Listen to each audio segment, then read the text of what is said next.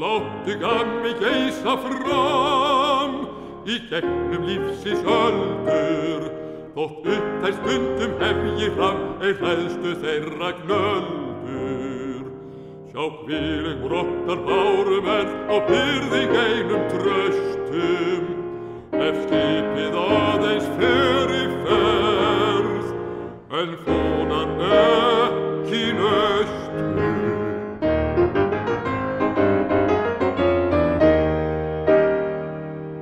Myndu þótt í votrifur þú vekkist fyrir sandi.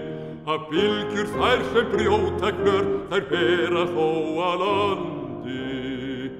Og stormur þurkar seglisvip og setjum stund í bleiti og alltaf áfá annað skip. Og annað för